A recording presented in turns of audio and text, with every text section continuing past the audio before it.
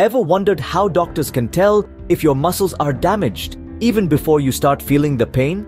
The human body is a complex machinery, and like any machine, it has ways of signaling when something is amiss.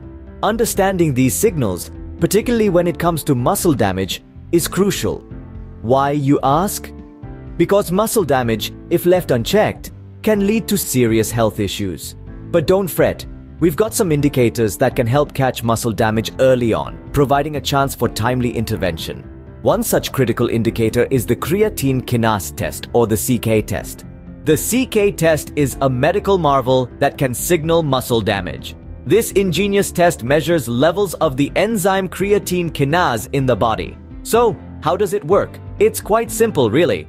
A blood sample is taken and analyzed for the presence of three isoenzymes CKMM, CKMB, and CKBB.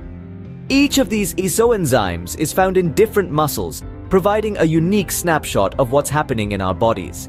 Elevated levels can indicate specific types of muscle damage, and this can help doctors diagnose potential health issues.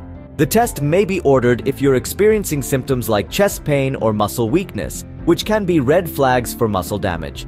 However, it's important to note that factors like exercise, trauma, alcohol consumption, and certain medications can affect test results. So, let's sum up what we've learned about the CK test. This test is a critical tool in diagnosing muscle damage, particularly in the heart.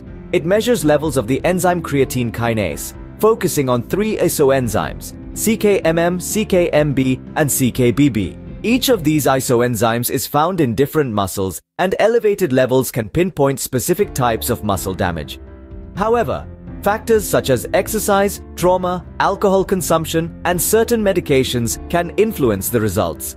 Therefore, it's essential to inform healthcare providers about all medications and supplements you're taking. Remember, understanding these indicators can be a game changer in early detection and treatment of muscle damage.